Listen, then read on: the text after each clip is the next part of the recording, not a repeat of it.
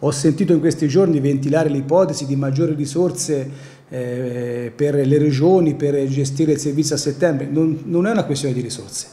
Mm, ci possono essere risorse a volontà, ma da qui a settembre l'unica modalità per garantire il servizio di trasporto pubblico a studenti e pendolari è quello di togliere il distanziamento sociale. Altrimenti, se davvero è una questione di salute, e su quella chiaramente dobbiamo essere assolutamente eh, ligi e rispettosi, eh, vuol dire che allora il problema è molto più serio molto più serie quindi non solo il trasporto ferroviario o comunque il trasporto pubblico deve essere ridimensionato ma ci deve essere una politica purtroppo di chiusura e che nessuno auspica, tantomeno io. Con le attuali regole anti-Covid sarà praticamente impossibile garantire lo stesso numero di studenti e pendolari il trasporto pubblico locale, in questo caso su rotaia, perché a fare questa affermazione il presidente di LFI Maurizio Seri, anche se per quello che riguarda il trasporto trasporto su gomma le cose sono persino peggiori. Abbiamo fatto um, alcune simulazioni chiaramente che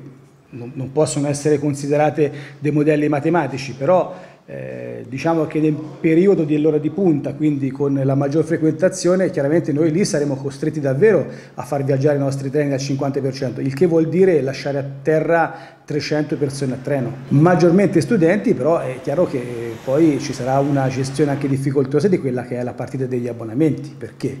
Perché nel momento in cui dovremo rilasciare gli abbonamenti, anche noi per un senso di responsabilità vorremmo capire quanti ne possiamo davvero rilasciare, altrimenti ci potrebbero essere dei soggetti che pagano l'abbonamento e che poi non utilizzano il servizio, perché non lo possono utilizzare, non perché per loro volontà. Quindi davvero è una situazione abbastanza paradossale che stiamo monitorando quotidianamente e auspichiamo davvero che il DPCM che ha una vigenza fino al 7 settembre possa essere dall'8 di settembre rivisto in maniera, in maniera diversa. Non sarà il jazz che arriverà eh, le, nelle prossime settimane a risolvere questo problema, cioè, mh, sarà una mitigazione del problema ma non, non certamente la risoluzione. Mh, con tutte, come dicevamo prima, con tutte le mh, massime attenzioni rispetto alla mascherina, rispetto alla igienizzazione delle mani, però dobbiamo far ripartire questo paese, dobbiamo farlo ripartire in sicurezza e, e quindi il trasporto pubblico locale è una parte essenziale di questo, di questo mondo.